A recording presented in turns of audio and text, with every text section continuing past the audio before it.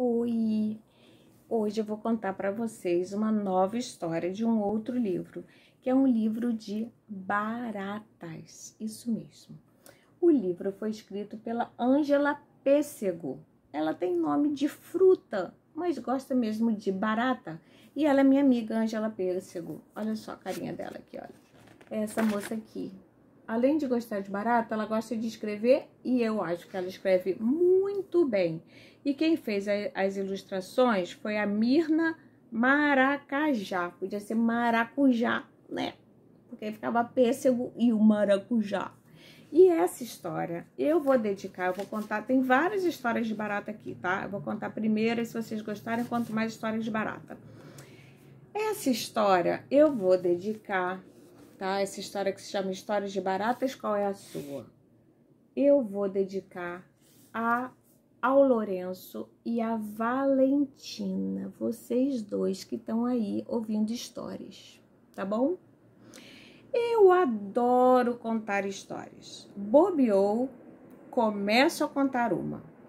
Pode ser inventada ou vivida. O que importa é se ela é boa de verdade. Vocês gostam de contar histórias?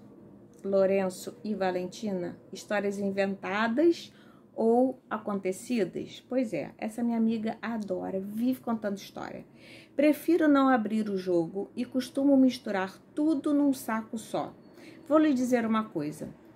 É uma festa quando aparece alguém como você que ainda não conhece nenhuma das minhas tradicionais histórias. Assim, posso ficar imaginando a surpresa e os olhos brilhando de quem está curtindo seguir o fio de uma história pela primeira vez.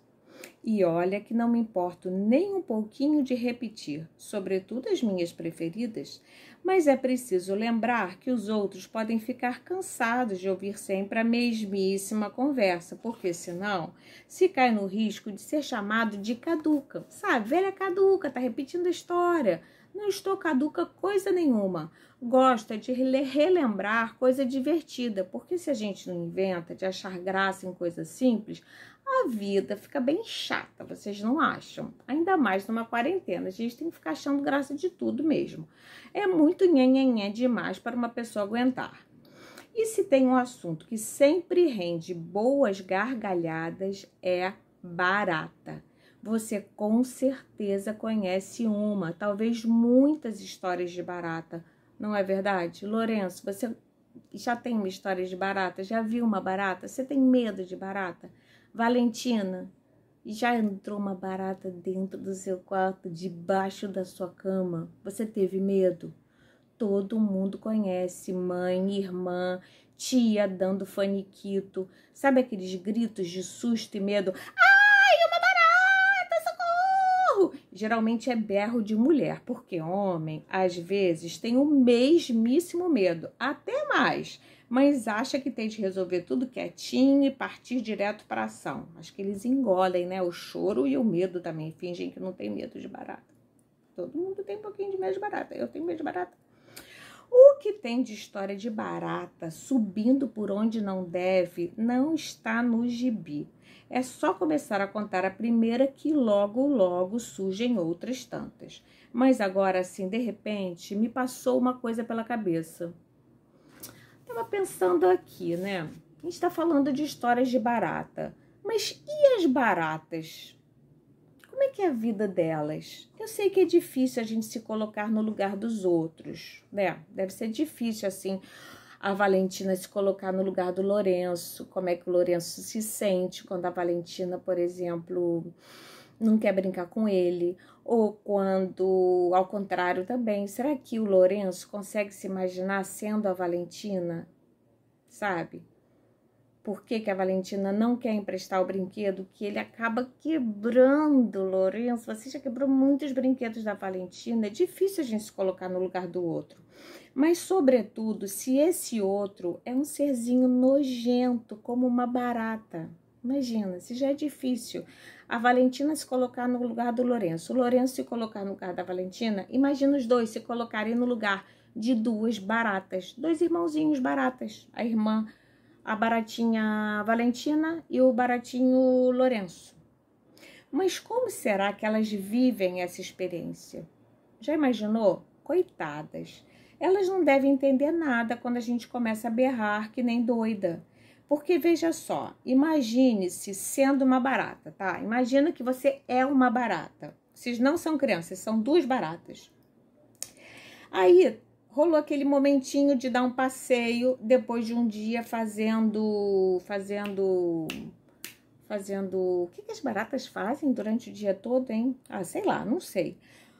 O que será que elas fazem para antes de assustar a gente de noite? Sai pelas ruas catando comida para alimentar seus filhotes? Pode ser, né? Vai cuidar de dar um brilho nas suas asas para fazer charme para o barato que quase não lhe dá bola? Olha aqui, olha, a barata dando um brilhozinho nas asinhas delas de barata para ficar bem brilhantinhas, para sair para uma festinha, de repente vai ao cinema com seu barato, né? Pode ser, curtir um barato com barato. Vai pesquisar novas casas onde poderá passar os fins de semana com sua família? Ou será que aproveita para tirar uma soneca antes de ir à luta? Sei lá, pode ser tanta coisa, mas isso eu vou inventar em outra hora, porque senão eu me perco, né? Porque já começou uma história, ah, minha amiga é assim, conta muita história. Estou achando que é invencionice demais para uma história só. É mesmo, Ângela? Conta logo sua história de barata. Agora tente visualizar comigo. Vamos imaginar a história dela. Início de noite. Você é uma jovem barata, tá? Sai de seu cantinho, sabe assim, atrás daquele armário da cozinha, aquele buraquinho perto da geladeira. Você sai dali calmamente, pronta para dar uma ronda despretensiosamente. Não conhece essa palavra? Lourenço? Valentina? Não sabem o que é despretensiosa? Despretensiosa. Acho que você sabe que uma coisa é despretensiosa quando é feita de maneira mais simples do mundo, sem nenhuma intenção especial. Isso é uma coisa despretensiosa. Por exemplo, comer um pirulito, fazer uma gracinha sem nenhuma intenção de que todo mundo vai te bater palma, sabe? Simplesmente você faz um negócio assim, despretensiosamente. Assim saiu nossa baratinha do cantinho dela atrás da geladeira. Pois bem, imagine-se passeando por aqui, voando por ali, feliz da vida. E aí resolve, porque a barata pode andar e pode voar também, muito divertido, né? Resolve fazer uma visita numa casa. Por que não? com a janela aberta, as luzes acesas, as pessoas com cara de estarem se divertindo bastante, quem sabe dançando, você fica curiosa para saber o que estão falando, e aí fica aquela vontade de se enturmar. Olha aqui, olha, as ilustrações que são da Mirna Maracajá. Estão vendo que legais o desenho dela? É mais do que natural você querer se enturmar. Você o que faz então?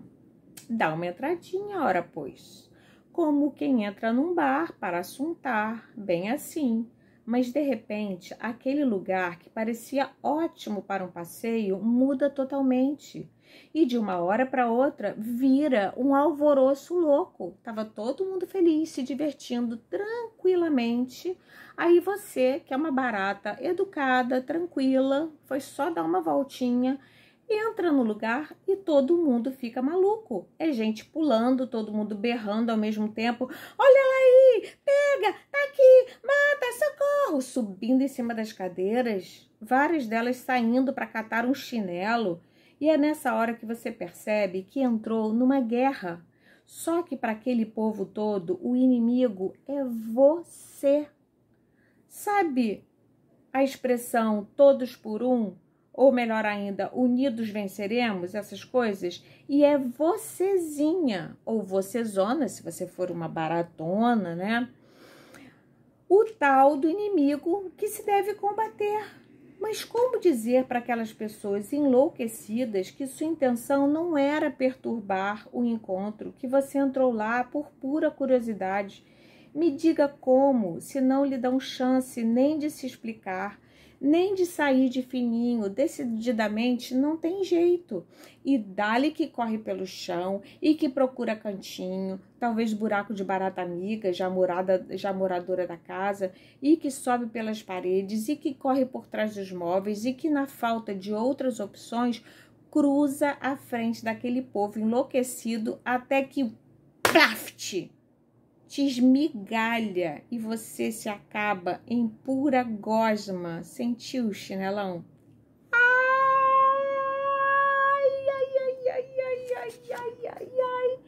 Eu acho que não é bom ser barata não, né, gente? Querem outra história de barata? Amanhã. Tchau.